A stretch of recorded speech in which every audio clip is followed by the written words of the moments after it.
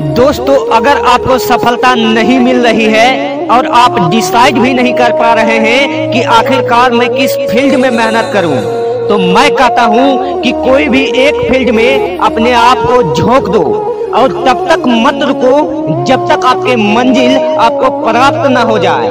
क्योंकि कामयाबी किसी भी बंदे के अंदर पैदाइशी नहीं होती कि कामयाबी किसी भी बंदे के अंदर जन्म से ही नहीं होती है मेरे दोस्त। बल्कि कामयाबी मेहनत करने से और जिद पालने से होती है।